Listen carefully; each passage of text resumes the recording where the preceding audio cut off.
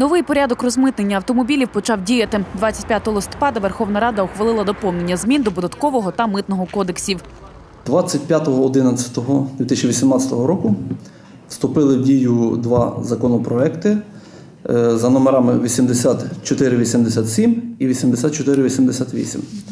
Перший, значить, про внесення змін до митного кодексу та деяких інших законодавчих актів України щодо ввезення транспортних засобів на митну територію України, а також про внесення змін до податкового кодексу України щодо оподаткування акцизним податком легкових транспортних засобів.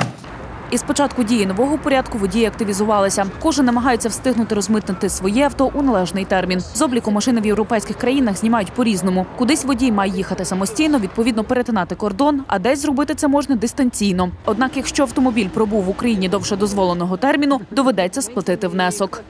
У разі порушення термінів вказаних митних режимів при оформленні у вільний обіг е, сплачується добровільний внесок у розмірі 8500, значить, який звільняє від е, усіх видів відповідальності, передбачених за порушення умов тимчасового везення або транзиту. Значно більше штрафи і вже недобровільні чекають власників євроблях із літа 2019 року. Вони почнуть діяти з 24.05. Вже зовсім інші штрафні санкції, які будуть застосовуватися як е, працівниками органів поліції, так само е, в межах компетенції працівниками митниці, в межах виявлених порушень митних правил. Тобто 8500 добровільної сплати, які зараз ми маємо при оформленні транспортного засобу вільний обіг, які е, фактично звільняють від усіх інших видів відповідальності для митних режимів тимчасового везення або транзиту, збільшиться дуже суттєво. Поки що ж водіїв додатково не перевірятимуть. До того ж, вони можуть скористатися пільгою. Протягом 90 днів із дня впровадження цих змін розмитнити своє авто можна буде у половину ціни. Це стосується тільки акцизного податку. Сума акцизного податку визначається за кількома показниками. Це, зокрема, вік машини та об'єм двигуна. Акциз для машин на дизельних двигунах буде більшим у півтора рази. Велику суму доведеться платити і за старі машини. У разі, якщо громадянин ввозить один транспортний засіб для власного використання протягом 90 днів е, з моменту дії е, закону України вказаного, е, ділиться на 2, тобто множиться на коефіцієнт 0,5. Вказана сума сплачується на половину. Аби розрахувати більш точно цей показник, попередньо при бажанні розмитнити відповідним громадянином транспортного засобу, пропонуємо звертатися до декларантів, які чітко вже мають програму, допоможуть порахувати під конкретний автомобіль. Потреба у митних брокерах виникла через новий порядок декларування. Особисто подати документ зараз не можна. Для цього необхідне спеціальне програмне забезпечення. Виключно електронну форму декларації визначено і в новій урядовій постанові. До брокера, аби уникнути затримок, варто приходити підготовленим. Машина має бути знята з обліку в країні реєстрації, оформлено договір купівлі-продажу. Е, З цими документами ми можемо вже почати працювати, тобто робити попередню декларацію. По попередній декларації власник, майбутній власник має внести грошову заставу, тому що підакцизні товари підлягають грошовій заставі.